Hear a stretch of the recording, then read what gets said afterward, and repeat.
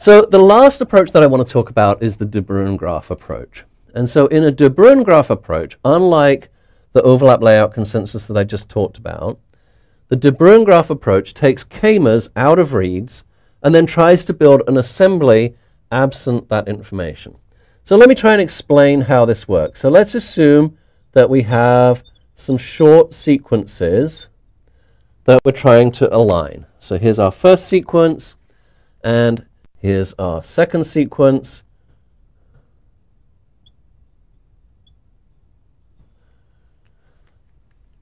The way the De Bruijn graph approach works is that we take a k-mer, a short k-mer, and so in this case, I'm just going to use 4 as an example, right? So I'm going to take every possible overlapping 4-mer.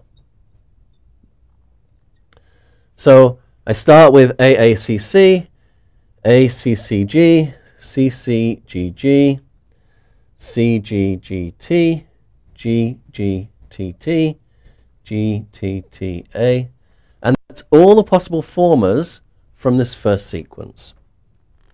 I do the same from the second sequence, so I start with GGTT, GTTA, TTAT, T A T A A T A C. And again, I have all possible 4-mers from the second sequence.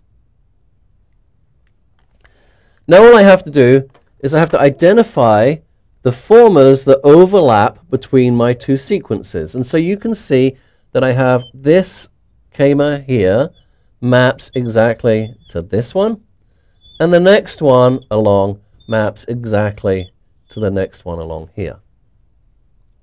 And so if I were reading this sequence, I would say my sequence would be A, A, C, C, G, G, and that GG is the same that appears here, and then T, T, A.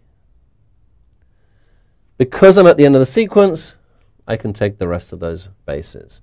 So my Sequence would be AACC, GG, which is my overlap, TTATAC. And you can see that that's clearly the combination of these two sequences. Now, I've done this example using 4-mers. In reality, as I talked about, 4-mers occur very frequently, and so none of our software really would use 4-mers. One of the most popular bioinformatics um, De graph assemblers is a program called SPAdes. And SPAdes uses a combination of k-mers from 31 to 127. It typically uses something like 31, 55, 77, 99, 127, but you can set those k-mers as an option to SPAdes. SPAdes does a bunch of other things in addition to just building a De Bruijn graph. Don't get me wrong, I'm not trying to say that that's all it simply does.